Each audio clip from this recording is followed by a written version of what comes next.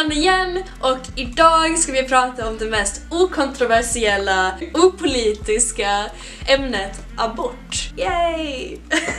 Så jag tänkte börja med att säga tack till alla som kommenterade och gillade förra videon. Jag ska ta fram några av mina favoritkommentarer från den videon. Min favorit var, det var någon som skrev Uh, det ser ut som ett black metal skivomslag med genustema. Så var det någon som svarade Heavy Menstruators, Feast on Blood.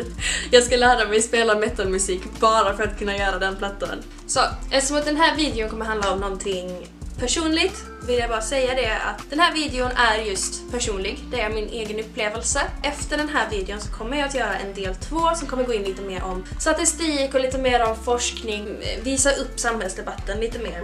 Så det här är del ett av två videos. Och då tänker jag också att jag kommer bjuda in er till det samtalet så att ni får jättegärna kommentera era åsikter kring det här ämnet och speciellt debatten om det. Samhälls, hur samhället idag hanterar frågan. Tycker det är bra eller dåligt? Och sen så är min Twitter är öppen så ni kan skriva där eh, personligen till mig om ni vill dela med er er story anonymt. Det här hände mig. Eh, jag var 19 år när jag blev gravid. Jag, ehm, jag hade varit i Norge med min eh, för detta pojkvän då. Ehm, eh, och det hade inte gått så jättebra. Eh, så vi kom tillbaka och när jag kom tillbaka så blev jag hemlös. Och eftersom att jag flyttade hemifrån när jag var 16 så hade ju inte jag liksom någonstans att komma tillbaka till. Så även om jag var 19 så hade jag liksom inte en plats hos mina föräldrar. Men jag fick i alla fall en bäddmadrass där. Så de, eh, min mamma bjöd då in mig att liksom okej, okay, eh, det gick inte så bra men det är okej, okay, du kan sova på bäddmadrass. Men som sagt, eh, inte, inte optimalt om man ska ha barn. Men jag, jag tog i alla fall ett graviditetstest och jag trodde verkligen inte att jag var gravid utan jag hade missat en mens och sen så det var min kille som fick mig att eh, ta graviditetstestet liksom, för att jag tänkte typ såhär bara först, ja men fan, sånt händer ju liksom inte. Eh, men, eh, men jag var gravid och då, den första jag pratade med var först min storebrorsa och sen så pratade jag med min mamma. Och min mammas reaktion var en ganska stark reaktion för att hon är ju mer kristen än vad jag är. Jag är inte kristen, jag är inte särskilt religiös eller spirituell av mig. Men hennes eh, initiala reaktion var ju hur ska du ta hand om barnet?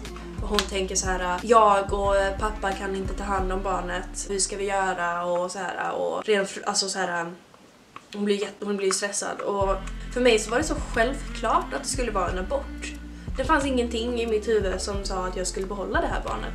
Jag såg på det ur ett feministiskt öga och jag tänkte så här, ja men jag kommer ju inte vilja ha barn och en abort är ju bara liksom gå dit och ta ett piller och sen så är det väck och så är det bra. Och det var inte så stor panik tror jag för mig att jag hade blivit gravid. Det kan det inte ha varit heller därför att jag, det fanns ju en anledning till att jag blev gravid. Jag använde ju inte de rätta, mm, jag var ju liksom inte säker. Om man ska ha sex så måste man vara säker och jag var liksom inte det. I was not being safe. Så det bestämdes rätt kvickt så här, att ja men okej men det blir en abort och jag bokade tiden och då som sagt så tänkte jag att jag skulle bara komma dit och så skulle det vara lugnt. Men det var ju inte riktigt det. Eh, jag hade två möten innan aborten. Det var en undersökning, heter det mammografi, när det började kolla. Ja, i alla fall de skulle trycka in någonting och kolla vad det som fanns där uppe. det var lite obehagligt för man är en praktikant där också. Blä. Men i alla fall, så först var det liksom att de skulle kolla om det faktiskt var en bebis där. Och sen så var andra besöket då liksom någon, de skulle kolla min hälsa och sånt där. Men det var ingen som sa hur jävla förbaskat skitont det skulle göra. Men då så kom jag dit då den dagen som jag skulle göra aborten. Jag fick då tre piller att stoppa upp i... Och sen så... Eh, tror det var nu typ tre piller jag skulle svälja också. Eh, och så skulle det ta ett stund så skulle man typ gå ut och gå för att få upp, få upp processen och så säger jag bara ja, ja, okej. Okay. Och sen typ så någon timme senare så känner jag så här, eh, jag känner som en, som en mensvärk. Liksom. Eh, och sen så började det inte kännas som en mensvärk längre. Och så gjorde det ont. Det gjorde väldigt, väldigt ont. Just det, jag var i åttonde veckan.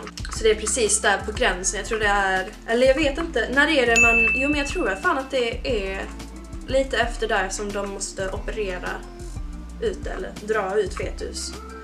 Eh, fostret, eller vad säger man? Jag vet inte. Men i alla fall, jag var i åttonde veckan. När det började göra ont så gjorde det väldigt, väldigt ont. Det kändes som att som den värsta mensvärken du någonsin har haft fast det är liksom samtidigt som någon drar inifrån. Som att du liksom du har skitont samtidigt som du så här, och jag kunde liksom inte röra mig. Det gjorde så pass ont att jag inte kunde röra mig. Det är en sån känsla man, alltså fruktansvärt liksom. Och på grund av detta då så fick jag, jag tror det var morfin, eh, morfin eller någon annan stark eh, smärtstillande. Och av då smärtstillandet så började jag spy. Så för att jag blev helt dizzy. Så jag typ ligger där och typ, eller jag, jag spyr och jag blöder och jag liksom så här. Uh, Nej men det gjorde så jävla ont. Uh, jag var inte förberedd på det överhuvudtaget. Det gjorde ju ont efteråt också. Det var typ så här någon vecka senare så fick man, så vaknade jag liksom av att jag hade ont i magen. Och sen var det ju också det psykologiska som ingen hade varnat mig om. Uh, var typ så här någon månad senare. Och jag ville inte ens ha barn, som sagt. Jag hade ingen... In, jag ville verkligen inte ha barn. Men det startar ju någonting i huvudet på en. Där liksom kroppen och psyket förbereder sig för ett barn som sen inte kommer. Um, vilket blir, det blir fakt.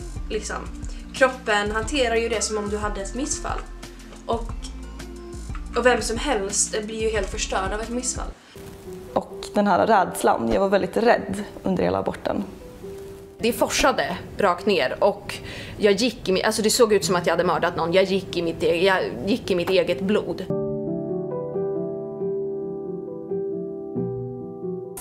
Jag har aldrig upplevt en så stark och intensiv och jobbig smärta. Bristen på järn och det jag hade varit med om psykiskt gjorde att jag blev väldigt låg och eh, nästan till deprimerad. Jag ville inte göra något, jag hade inte lust till att göra någonting.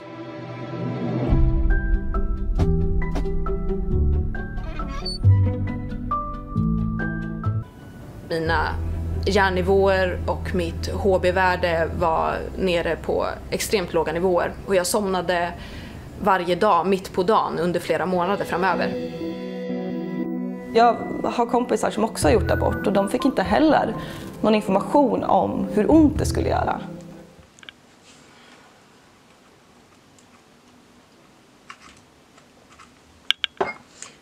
Men det blev liksom en chock för mig att ingen hade varnat mig om hur ont det skulle göra och hur jobbig processen var.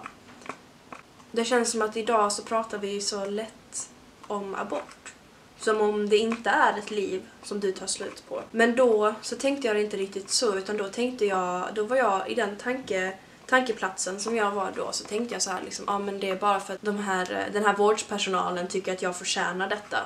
Uh, och då behövde jag liksom ingen förvarning eller så utan det är jag som, uh, det är mitt fel att jag blir gravid och jag ska få lida och du, du, du, du patriarkatet liksom. Jag såg det som ett feministiskt problem. Uh, men idag ser jag det som att ja, men det var mitt fel.